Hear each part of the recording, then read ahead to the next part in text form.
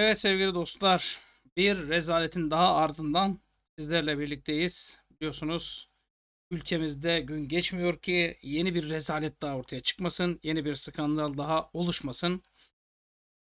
Kazanmak için değil, doğruları savunmak için sahaya çıktığımız bugün de tavrımızı özetlemek adına vurgulamak istediğimiz şey şudur ki sadece futbolda değil yarıştığımız her branşta 117 yıllık mazisiyle Türk sporuna hizmet eden, müzesinde alın terinin, emeğinin izlerini taşıyan binlerce kupası olan 30 milyon taraftarıyla ülkesinin milli değerlerini benliğinde hisseden dünyanın en büyük spor kulübü olarak dün olduğu gibi bugün ve yarınlarda da dik durmaya devam edeceğiz diyor Fenerbahçe Spor Kulübü.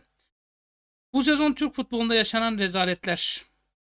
Ankara Gücü Başkanı Faruk Koca Halil Mutmeler'e yumruk attı. Ellerine sağlık.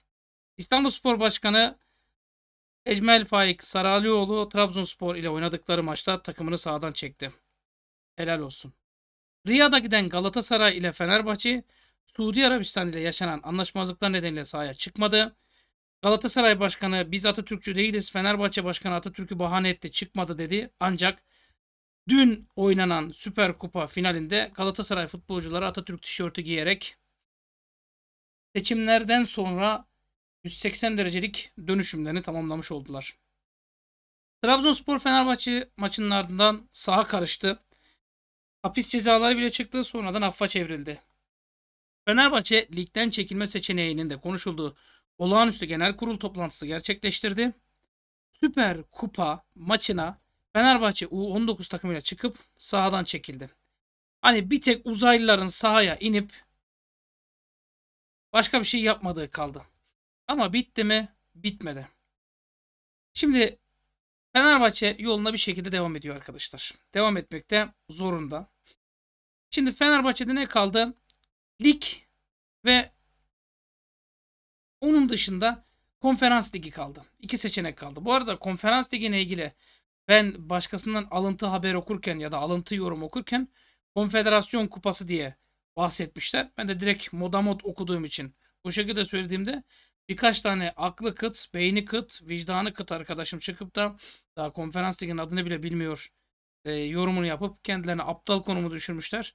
O aptal konumuna düşen arkadaşlara selam olsun. İsmail Kartal'dan Olympiakos uyarısı. Şimdi Süper Kupa için kafa yorulmadı. 11 Nisan'da Pire deplasmanına bileniyor Fenerbahçe. Takım izinliydi. Çalışmalara tekrar başladı. Olympiakos'ta çok önemli maçımız var dedi. Dinlenin kendinize gelin dedi ve hazırlıklar sürüyor arkadaşlar. Bazı futbolcularla ilgili işte sorular geliyor bana. Onlarla ilgili de şimdi gereken açıklama yapacağım. Mesela Cengiz Ünder çok merak ediyordu. Joshua King, işte İsmail Yüksek, Fred, Mert Hakan, Yandaş, Batshuayi. Ee, hani bunlar özellikle bu saydığım isimler izin gününde bile Samandıra'ya gelip çalıştılar şey Cambar testlerinde. Ve Fenerbahçe'de dikkatler, tüm dikkat Avrupa'ya çevrildi. Mecburen de çevrilmek zorundaydı ve çevrildi de. Zaten Avrupa artık Fenerbahçe için en önemli seçeneklerden biri ki hani bazen haklı olduğunu bas bas bağırman gerekir ya. İşte o bağırmanın tam zamanı olacak şey. Süper Kupa maçı malumunuz.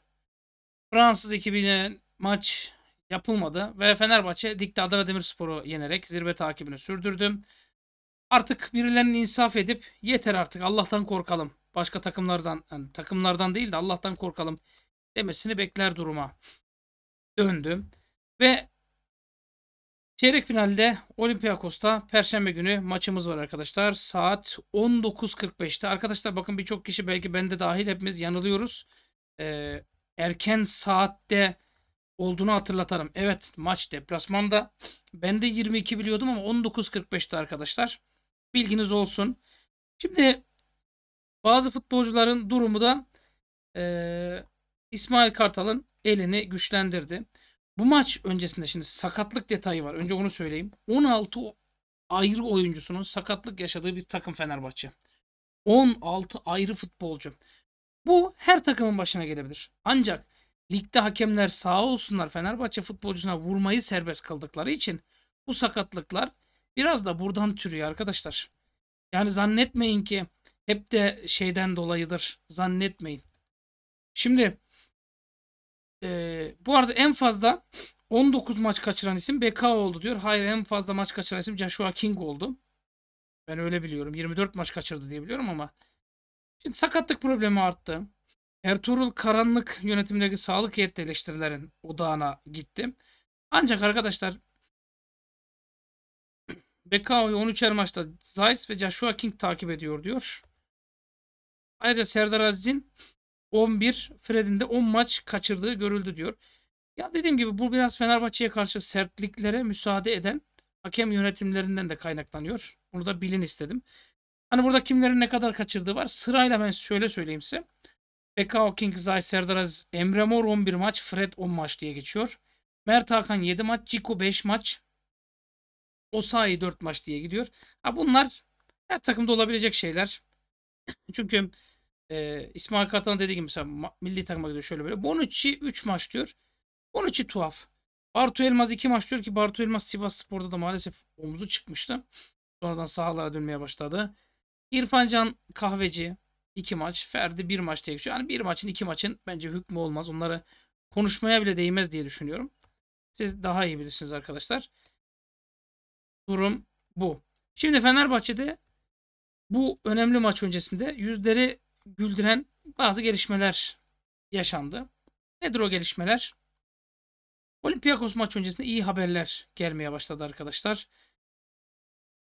İsmail Kartal oyunculara bir gün izin vermişti. Ardından dün itibariyle çalışmalara tekrar başladı takımımız.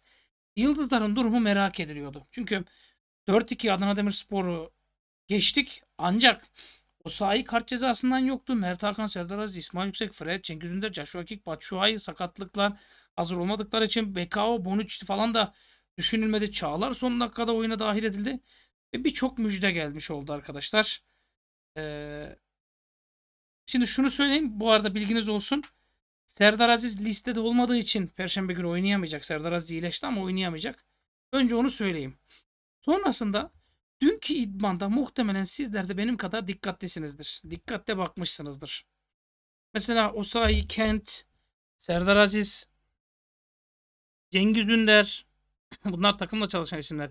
İrfan Can Kahveci. Hatırlayın İrfan Can'ın kasında bir sorun var demişti. İsmail Kartal ama ciddi bir şey olduğunu düşünmüyoruz demişti. Takımla çalışmalara başladılar mı da sevindiriyor. Bonucci, Bekao, Ceko'nun böyle üçlü bir pozu var. Etkileyici bir poz. Hani Osterwolde'yi falan gördük. Zayt'sı falan gördük. Usahi, Zayt, İrfan Can Eğribaya, Tadic, Osterwolde, Şimanski. Yalnız biz idman fotoğraflarında Fred'i falan göremedik. Açıkçası Fred'i ben göremedim idman fotoğraflarından. Önceki idman fotoğraflarına falan bakıyorum. Mert Hakan topla çalışıyor gördüğüm kadarıyla. Hani bir önceki gün. Hepsinin de olmasını beklemiyorsun zaten. E, Kurunic, Livakovic gibi isimler de topla çalışıyor. Çağlar falan. E, ondan da bir gün öncekisine falan gitmek lazım. Ya da ondan da bir gün öncesine böyle böyle bakıp biraz da kendimize şey yapabilir. Mesela 4 Nisan'dakine bakıyorsun. Az az böyle futbolcuları paylaşıyorlar. Neyse uzun lafın kısası arkadaşlar. Futbol takımımızda ciddi bir iyileşme süreci var. İnşallah Allah sakatlıklardan korusun. Tabii omurga önemli. Mesela Dursun Özbey'in omurgası omurgasında bir rahatsızlık mı varmış? Geçmiş olsun dileklerimizi iletiyoruz arkadaşlar. Bir rahatsızlığı varmış sanırım. Tam anlamadım ama neyi kastettiler? Ee, ha yok alay ediyorlar. Anladım. Bu maçın geliri demiş Dursun Özbek depremzedelere gönderecektik. Keşke diğer biletlerde satılsaydı demiş. Şimdi utanç verici bir açıklama. Hem maçın yayıncı kuruluşu Fenerbahçe düşmanı olmalarına rağmen açık açık diyor ki bütün biletler satıldı. Hem Fenerbahçe başkanı maçlar önce çıkıyor diyor ki biz yönetim olarak Fenerbahçe yönetimi bütün biletleri aldı diyor. Ve inanılmaz ya. Rakip takımın başkanı çıkıyor bunu söylüyor. Ama bitmedi. Keşke bu kadar olsaydı. Şimdi çıkıp U19 takımına yazık değil mi falan diyor da sen kendi takımına saldırın. Hani parçalayın falan demeye utanmıyor musun? Hani bir, bir dakika boyunca takımını alkışlayabilirdi mesela eğer saygıdan bahsediyorsan. Çünkü o çocuklar saat 12'de İstanbul'da maça çıktı. 2'de daha duşunu almadan uçak yolculuğuyla Şanlıurfa'ya geldi. Erden Timur maç bitiminde yarından tezi yok. Bu yabancı hakemlerin seçilsin geçmişten günümüze ne var ne yok incelenip ortaya çıksın. Biz herkes bunun sonuçlarını kabul etsin diyoruz. Fanatik kesimler arasında herkes kabul edecekler zaten. Bunun amacı bakın bize haksızlık yapıldı. Kimin ne yaptıysa çıksın falan filan diye. Merak ediyorum kaç saat sonra döneceksiniz? Kaç saat sonra bu söylediğinizi inkar edip kıvıracaksınız? Ne kadar sonra? Çünkü siz ne dediniz? Yabancı hakem. Tamam Süper Kupa'ya yabancı hakemle çıkalım deyip de sonra inkar etmediniz mi? Hangi tarih erteleniyorsa ertelensin deyip Fenerbahçe'nin Avrupa maçından dolayı isyanında kıvırmadınız mı? Ya kıvırmadınız mı? Her şeyi geçtim. Dursun Özbek. Dursun Özbek. Ne yapmış? Kendini ifşa etmiş. Birkaç hafta, önce derhal istifa edin diye ortalığı birbirine katan Galatasaray Başkanı 102 gün sonra seçim kararı alan TFF'yi savunuyor. Diyor ki TFF'nin aldığı seçim tarihi kararı gayet makul. Onlara da saygı duymak lazım. Yalanın yuva yapmış hali diyordu ya Ali Koç. Yani inanın ceza yemeyeceğimi bilsem az bile söylemişlerim. Vallahi az bile söylemişlerim. Ya bu kadar mı olur? Hani şey gibi ya. Birileri bana saldırsın, kışkırsın. Hani kışkırtayım. Küfür etsinler de tazminat alayım diye uğraşan bazı hakemler var. Bazı spor yorumcuları var. Bu da onun gibi bir şey. Gerçekten bak. Peki Fenerbahçe sahaya çıkmasaydı ne ceza alacaktı? Gürcan Bilgiç açıklıyor Fenerbahçe sahaya çıkmasaydı 11 milyon euroluk tazminat ödeyecekti arkadaşlar. Yanlış duymadınız. 11 milyon euro. Anladınız mı şimdi neyi U19'da çıktı? Ayrıca herkesin gerçek yüzünü, karakterini, şerefini, haysiyetini, namusunu, onurunu görmüş olduk. İnanılır gibi değil ama görmüş olduk. Bunu görmüş olduk. Yurt dışındakiler Brezilya'dan, şuradan, buradan her yerden tepkiler yağıyor. Herkes Fenerbahçe'nin onurlu duruşunu alkışlıyor. Kupayı elleriyle teslim ediyorlar federasyondakiler. Herkes gülüyor.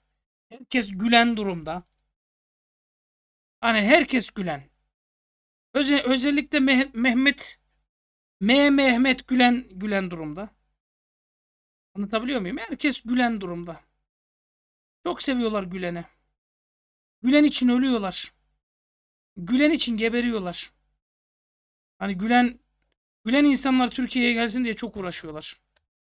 E Fenerbahçe medyası ne yapıyor? Fenerbahçe medyası da yok Ali Koç kalacak mı? Yok Ali Koç gidecek mi? Yok transfer olacak mı? Yok olmayacak mı?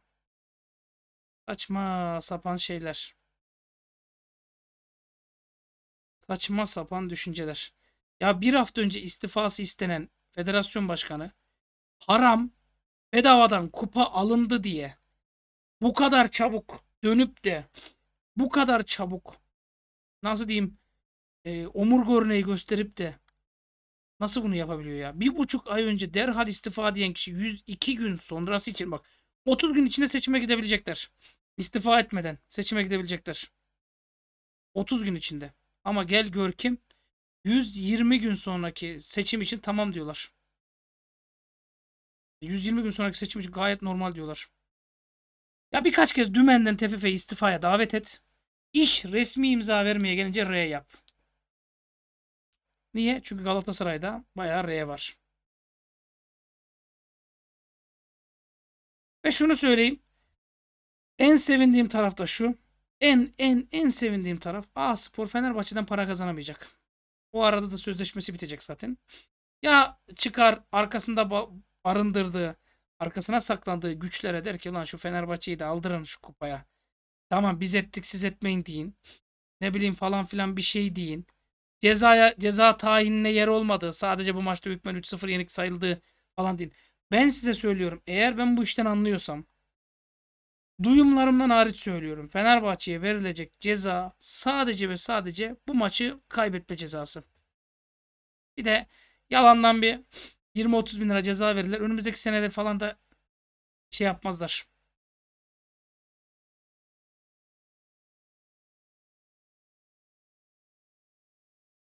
Bu arada Ali Koç'un şu açıklaması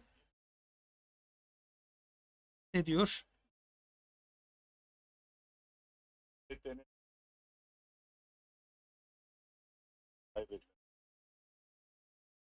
Biletlerin hepsini. Dur bir de siz dinleyin arkadaşlar. Ben mi yanlış biliyorum? Şu Dursun Özbek de dinlemesi lazım burayı. Biletlerin hepsini Fenerbahçe Spor Kulübü satın almıştır. Dolayısıyla biletlerden kaybedilen herhangi bir kaynak yoktur. Alın arkadaşlar ben öyle e, Dursun Özbek gibi iftira atarak konuşmuyorum. Açık. Net bir şekilde şeyden konuşuyorum. Neyse. Burada benim önümde bazı şeyler var. Transfer bilmem neleri falan filan. Gün transfer konuşacak gün değil. Perşembe gününe takımımız iyice hazırlansın. Elinden geleni yapsın. Şu bir gerçek. Dünkü rezaletten sonra rakip takımın başkanının yöneticisinin kıvırmasından dolayı kıvırmasından sonra hepiniz anladınız değil mi arkadaşlar? Messi, Ronaldo'yu da getirsen bu ligde Fenerbahçe'yi şampiyon yapmayacak bir düzen var. Bir dümen var. Bunu kırmak için de artık ne olursa ama ben Fenerbahçe'nin alacağı cezayı size %100 söylüyorum bak. %100 açıklıyorum. Fenerbahçe'nin alacağı ceza sadece bu maçta yenik sayılacak. Öyle iki sene falan da Federa şeyden Türkiye Kupası'ndan men edilmeyecek. Haberiniz olsun.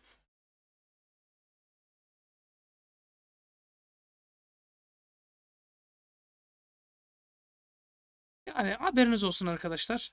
Rakibimizin nasıl bir rakip olduğunu da hepiniz zaten görüyorsunuz. Benim anlatmama gerek yok. İyi ki varsınız. Hepinize teşekkürlerimi sunuyorum. Allah razı olsun arkadaşlar. Takipte kalın. Daha sürpriz videolara karşınızda olacağım. Görüşmek üzere.